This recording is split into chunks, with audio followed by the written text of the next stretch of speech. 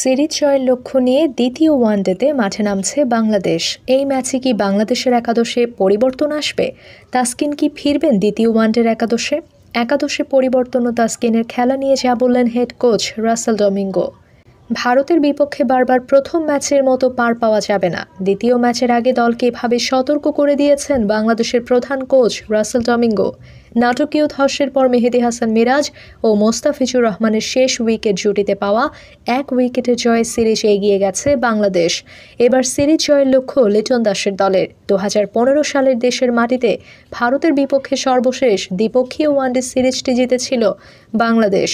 আগামীকাল দ্বিতীয় ওয়ানডের আগে দল উজ্জীবিত হলেও আগের ম্যাচের চেয়ে উন্নতির বিকল্প দেখছেন না ডমিঙ্গো। আজ সংবাদ সম্মেলনে তিনি বললেন, এ সংস্করণে আত্মবিশ্বাস আছে।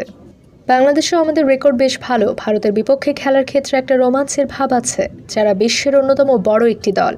আমরা বিশ্বের অন্যতম সেরা একটি দলের বিপক্ষে নিজেদের বাজিয়ে দেখেছি। মনে হচ্ছে ভারত খুব ভালোভাবে ঘুরে দাঁড়াবে। প্রথম ম্যাচের চেয়ে ভালো ক্রিকেট খেলতে হবে, বিশেষ করে ব্যাটিংয়ে। আবার পার পেয়ে যাওয়া যাবে না। প্রথম ম্যাচে টসে জিতে ফিল্ডিং নিয়ে ভারতকে একশো ছিয়াশি রানে আটকে দিয়েছিল বাংলাদেশ। ফ্লাড লাইটের আলোয় সঙ্গে শিশিরের প্রভাবে ব্যাটিংটা পরে সহজ হয়ে আসবে একটু ভাবা হয়েছিল এমন। যদিও ধীর গতির নিচু বাউন্সের উইকেটে তেমন কিছু হয়নি। মেহেদি হাসান মিরাজ ও মোস্তাফিজুর রহমানের শেষ উইকেট জুটির দৃঢ়তায় এক উইকেটে রোমাঞ্চকর জয় পায় বাংলাদেশ। দৃশ্যটা বাংলাদেশ দলের জন্য স্বস্তিরই। মিরপুর শেরে বাংলা স্টেডিয়ামে পুরো দলের সঙ্গে ফুটবল খেলছিলেন চোট থেকে ফেরা তাসকিন আহমেদ।